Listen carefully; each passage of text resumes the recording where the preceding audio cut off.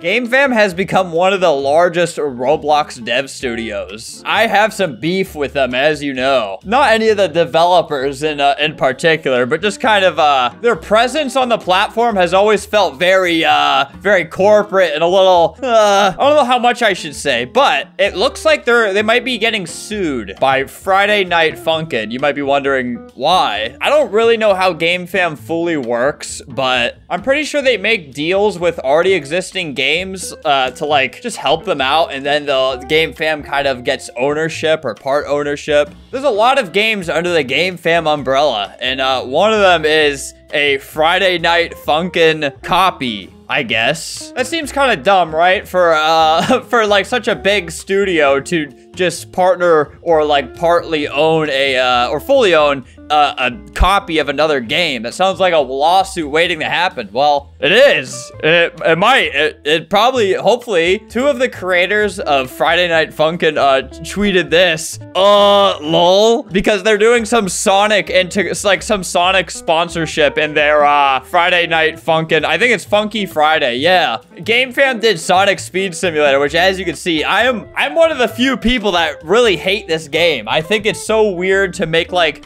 uh, to have gambling incorporated in a Sonic game, which was like clean cut brand. Like this is gambling. I know there's a lot of that on Roblox, uh, and like it's whatever, but like with Sonic, like that, that's a brand I grew up playing. I'm very, very fond of that brand. So I, so I felt a certain way about it and whatever. I'm pretty sure the CEO, uh, uh, doesn't like me very much, which might, uh, might be an understatement. I don't know. A lot of people thought this was a joke at first. Uh, Ninja Muffin, one of the creators of FNF said, uh, you're right, Dave. Let's consult our lawyers about this. So I said, this is an obvious joke. Why do people believe this? And then uh, Ninja Muffin responded saying, it's not. Like, I think a few hours before this happened, I was talking to my friend about how Funky Friday probably made like a lot more money than FNF actually did because FNF's a free game. I think they got like maybe like a million or two off of a Kickstarter. If you think about it, I feel like that's not that much considering how huge of a game uh, like this game is. And then people just make a direct remake copy and make probably way more than they did. So yeah, I think it's kind of a good thing. I, I hope they're able to pursue legal action and, you know, kind of get some, some of their deserved earnings because I feel like they've had uh, kind of a lot stolen from them. So, you know, technically, uh, what this means is Sonic is being sued. And uh, what Sonic needs right now is our support, our help, and our money. He actually, he prepared some statements for me. Game fam, can I borrow some money for this lawsuit? I'm broke from gambling at Sonic Speed Simulator. Oh man, that's horrible news, Sonic. Yeah, Sonic, the the not the brand, but the hedgehog himself. Actually, uh, he tweeted uh, this voice recording out. Hey guys, this is Sonic. Please donate to my Cash App. I can't say much about it, but I'm going through legal trouble. Anything helps. Legal trouble, you say? I bet, hey, I bet that's related to the, to the thing we were talking about earlier, right?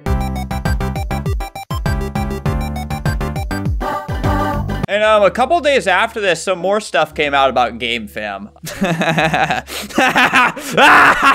um, and a couple days after this interaction, a, a couple former employees of GameFam came out and talked about how like working with game or working for GameFam was a pretty negative experience. And uh, before I go into any of that, any issue here is not like no GameFam dev or like no Roblox devs are behind what I'm about to talk about. Don't harass anybody who works for GameFam. There just seems to be like a couple issues with like the higher management that uh, they don't play Roblox. So don't don't harass any Roblox player, any don't be an idiot. The the people we're talking about don't really have a public presence. So there's a lot of developers on pretty much every developer on GameFam is just a normal person like you and I. We're not talking about them. We're talking about the higher management. So a Roblox dev, uh, Digi Purgatory, just kind of mentioned about like GameFam uh, underpaying. GameFam's trying to, or allegedly GameFam is trying to create a monopoly on the Roblox site by buying out other games and integrating them into their company. That's why uh, GameFam has all these popular games under their belt. You know, I know people who have received uh, like an offer from GameFam about their game and it was like, eh. Yeah, seems like underpaid, overworked, and then just kind of like fired out of nowhere after submitting uh, this update that they they used. Here's the here's the update this person made, the Werehog update, and then just terminated from the company, no notice until next Monday to check on tasks for the week. There's people on the Flamingo team. I I, I technically yeah I I employ people. I I truly could not imagine just like firing someone and not having that kind of communication. Especially like, doesn't seem like there's a reason for this person to be fired if GameFam is like using the thing that they made. So clearly it's not like this person's performance was like horrible or something. Like look, good, good quality work. So good, so good they showed it off on Twitter. Little did anybody know that per this person who made this was just like fired right before this was posted with no notice. You know, they just disable replies on that tweet. Um, Alice brings up a, a similar story where, you know, fired with no notice, encouraged to work for free. Yeah, similar story of kind of uh, just being overworked and then uh, woke up to start work and was locked out of the work email. And six hours later was told to uh, go to a Google Meet with the CEO and a couple higher ups. The CEO uh, tells them that they were fired that weekend and this was the first uh, first time they were hearing of it. The reason was leaking company secrets and was told uh, there was no proof but that it was the only explanation for their lack of productivity. Everyone around me knew how hard I worked for this company, and that was completely overworking me to the bone. When I informed the CEO I had no second job, like he said, his only response was, oh, okay. So they just kind of like, uh, the CEO said you can leave or we can like make a, make a new contract. This is kind of like a weird thing to say. Worked every day of the week, uh, no new contract yet. It was told to be grateful for this uncontracted opportunity. Never received any of that pay from that week of free work. When you fire someone, you typically give them a severance, which is like a little bit of money to keep them going for a little bit. They didn't even give that. This part's important. Uh, GameFam employs a lot of incredibly hardworking developers from all over the world. Yeah, like this isn't any fault of the developers in any way, so don't don't try to find don't like this is purely like a very like higher up CEO thing. I know some Roblox developers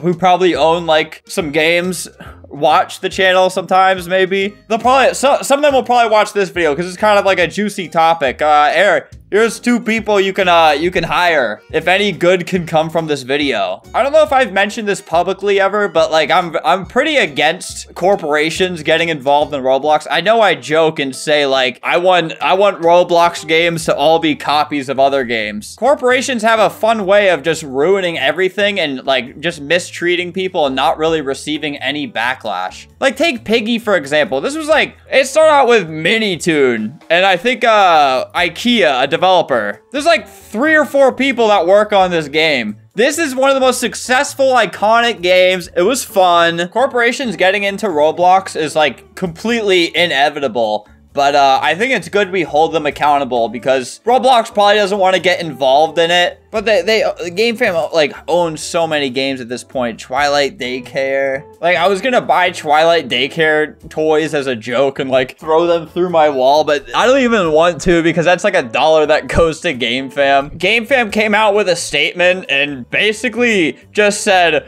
we are so cool, we are so cool. We are very proud of the work we do and the company we have built together. Here's some facts about working at Game Fam. Big money, unlimited paid time off, unlimited celebration of company wins at quarterly all hands global meetings. There have been no layoffs recently or ever at Game Fam. Well, that, that solves that. They don't acknowledge pretty much, they acknowledge nothing. And sure, Game Fam, if you're doing, uh, if you're doing good now, that's great. Even though one of these was about like a recent update, so there have been no layoffs recently. See? If you don't believe me, hear it from my boy Sonic. Hey guys, Sonic here! It has been three minutes since our last layoff.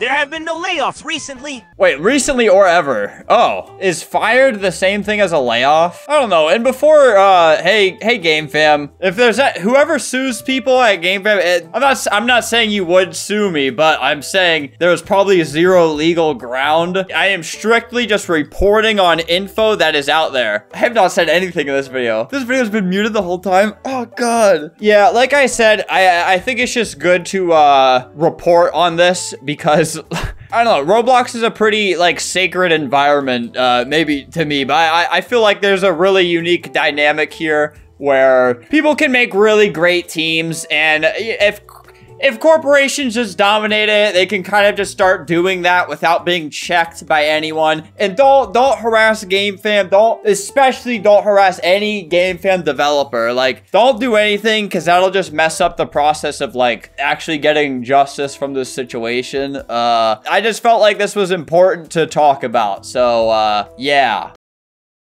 Don't sue me! Please, please don't sue me!